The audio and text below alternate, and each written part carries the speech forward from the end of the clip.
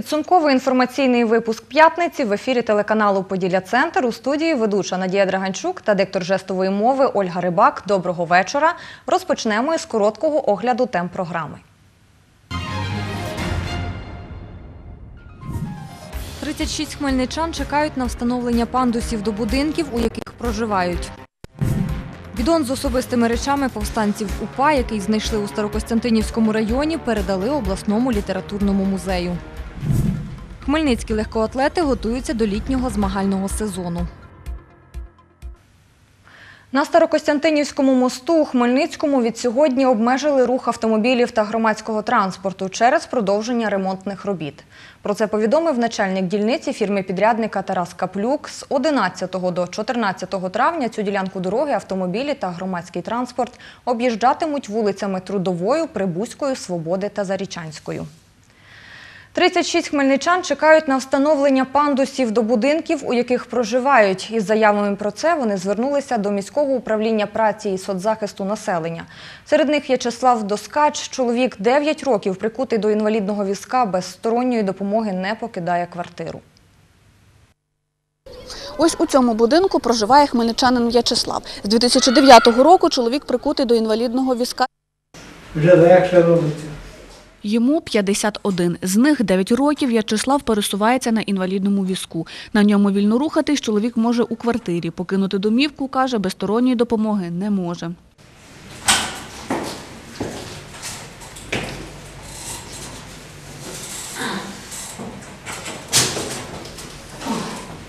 Якби не допомагав, то взагалі не виїхали.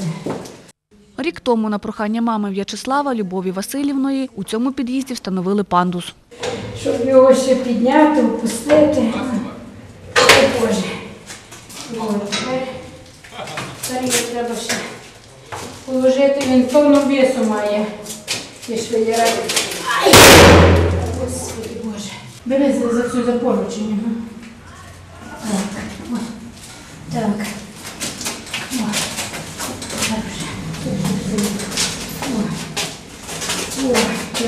Богу. Дякувати Богу.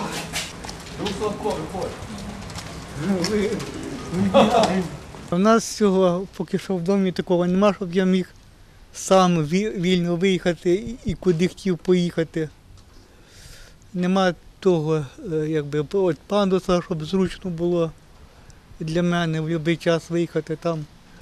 Ви бачили е, і пандус, не- пандус. Дійсно, навіть от е, побігла я там десь на, на ринок, да, він захотів виїхати на вулицю.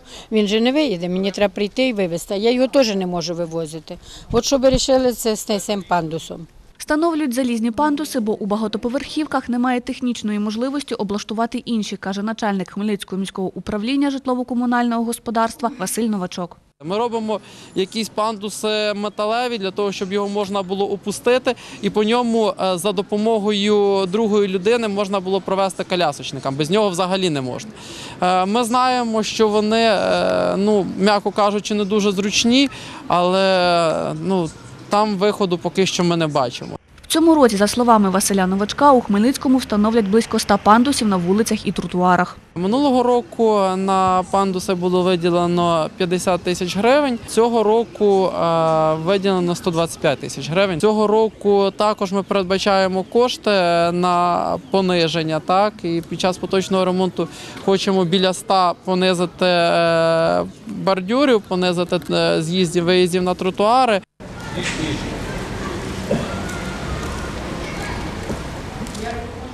Даний випадок, от, виїхати і заїхати, це для мене не дуже. Це для мене як номер один. Дарина Денисенко, Віктор Кривий, Олександр Горішевський, Володимир Паламар. Новини Поділля Центр. При температурі вище 28 градусів тепла на Хмельниччині обмежуватимуть рух великогабаритного транспорту. Про це повідомила прес-секретар служби автомобільних доріг у Хмельницькій області Наталя Колодій. За її словами, йдеться про вантажівки вагою понад 24 тонни. Такі обмеження запроваджують для збереження покриття автодоріг.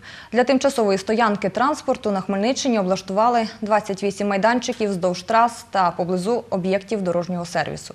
Контролюватимуть обмеження руху великогабаритного транспорту працівники Укртрансбезпеки та Національної поліції області. Нічні тролейбуси не курсуватимуть у Хмельницькому протягом двох тижнів. На вулиці Свободи, якою всі вони проїжджають, працівники теплокомуненерго ремонтуватимуть тепломережу. Роботи проводитимуть вночі, через це рух транспорту буде перекритий. Вдень тролейбуси курсуватимуть вулицею Свободи у звичному режимі, повідомив директор Хмельницького електротрансу Віктор Паламарчук. За його словами, нічні тролейбуси не виходитимуть на маршрути з 11 до 25 травня.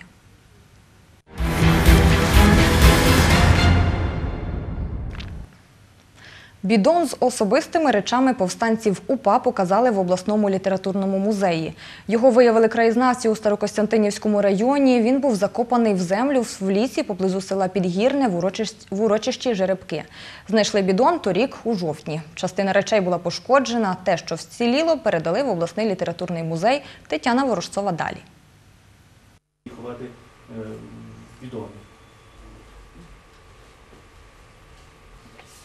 е, відомі.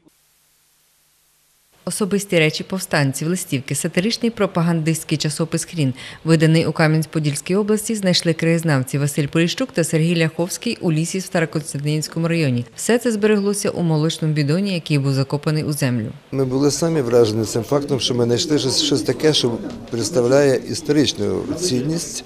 І зразу навіть не поняли, що воно таке. Ну, Якісь листівки там. Були як там пачками, то е, було зрозуміло, що то якісь листівки агітаційні. Знайдені артефакти підтверджують те, що на Хмельниччині також діяв повстанський рух ОУН-УПА часів 40-50-х років минулого століття. Так вважає історик Володимир Кохан. Існує стереотип, що на наших землях взагалі не, ну, не взагалі практично відбувалося боротьби під проводом оунівців, але подібні знахідки нам стверджують, доказують абсолютно протилежне. Це був основний плацдарм переходу сил Західної України на східноукраїнські землі. І свого часу навіть існує факт, що після загибелі Романа Шухевича Василь Кук в них було в планах сформувати центр опору саме на Хмельниччині, тогочасній Кам'янець-Подільській області. Василь Горбатюк 20 років досліджує літературу, яка стосується діяльності ОУН-УПА на Поділлі. Про це видав дві книги. Він вважає, бідон з речами закопали підпільники з Кам'янця-Подільського. Я з певністю можу сказати, що е, це зробили е, члени підпілля, які прибули сюди із Кам'янець-Подільського е, районного округу ОУН на чолі з Іваном Ліщинським, псевдо. Матюшенко, або він же тут діяв під псевдо Яковенко, а також його побратими поблизу того місця знайдені таке місце, ніби що схоже, що там була е, побудована і Криївка. Е, Це ще раз підтверджує, що е, бетон е, закопаний якраз е, цими повстанцями. Це, я думаю, не останній бетон, в принципі. І там же ж групи були, і, і ще десь були. Трапиться час, трапиться обставини, закладуться в житті. Хтось знайде їх. Тетяна Ворожцова, Віктор Кривий. Новини Поділля. Центр. Про що розповімо у наступній частині програми, дивіться далі в анонсі. Виставку із 226 робіт учнів інклюзивного класу відкрили у Хмельницькій дитячій школі образотворчого мистецтва. Хмельницькі легкоатлети готуються до літнього змагального сезону. Виставку творів Казковий світ представили учні інклюзивного класу Хмельницької дитячої школи образотворчого мистецтва. 226 робіт виконані у різних техніках: це живопис, рисунок, композиція, скульптура. Виставку діти з інвалідністю підготували до Дня матері. Більше про усе розповість Тетяна Ворожцова.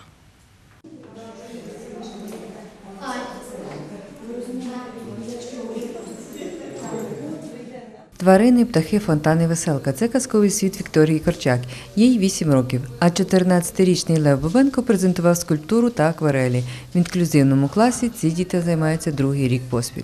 Я зобразив головного героя, тигра. Він мене полосатий, полоски, у нього темні, а, а тигр весь оранжевий. Що Тигр сидить на галявині зеленій. Над, над ним зелена гілка і світить сонце. Це було справжнє літо. Я ліпила жаб. Вона біла. Але я зверху додала ж Зелене. Під низ. Вона жила в ставку. Я ліпила, старалася для мами. І я дуже хотіла, щоб мама була раділа. В експозиції представлено 226 робіт, 189 з них представлені на папері, 37 робіт діти представили у скульптурі. Ці роботи учні інклюзивного класу у школі збирали впродовж року. Одразу кидається в очі. Оце таке е, порівняно з, минулим е, роком, таке комунікація і таке вже спілкування. Спілкування десь е, з роботою конкретно.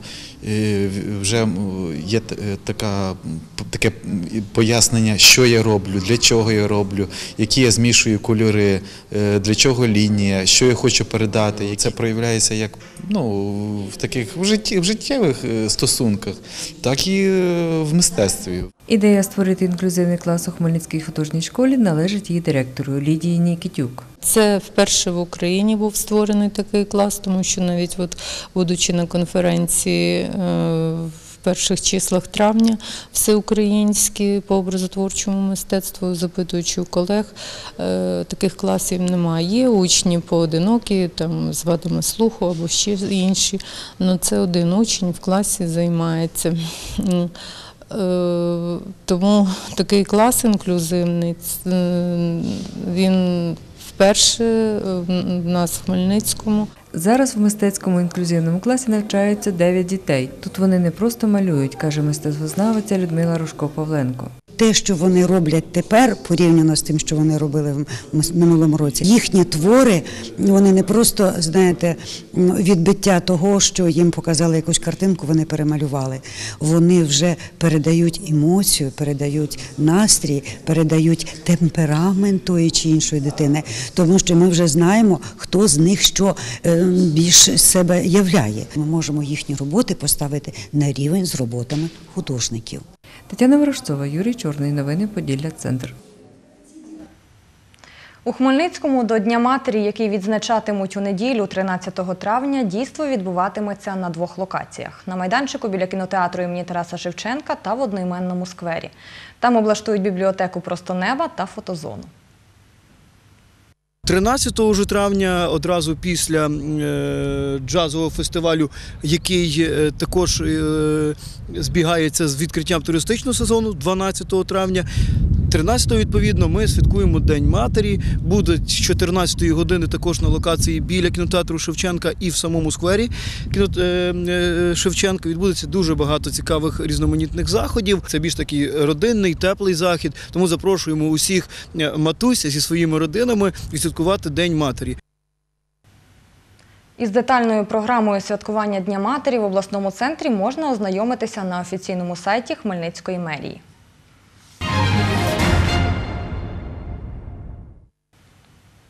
Тренування хмельницьких легкоатлетів напередодні літнього змагального сезону сьогодні відбулося на стадіоні Поділля. Серед його учасників рекордсменка України зі стрибків у довжину хмельничанка Марина Бех і найкраща легкоатлетка квітня в Україні Вікторія Калюжна, яка займається в заслуженого тренера України Володимира Ліщука з Полонного. Про підготовку спортсменів розповість Ярослава Антошевська.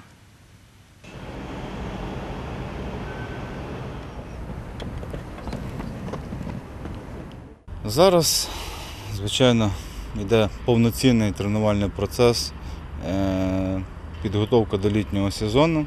Йде специфічна зараз така у нас робота, більш е, вже такого технічного направленості, більш така тонка, гостра робота і безпосередньо вже яка підводить до, до основних змагань літнього сезону.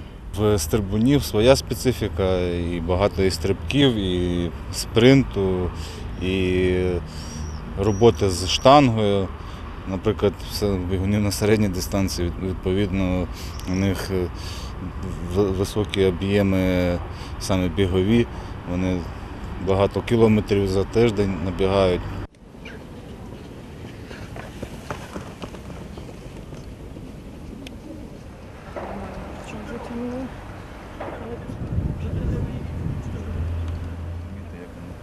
До літніх стартів готується хмельницька легкоатлетка Марина Бех.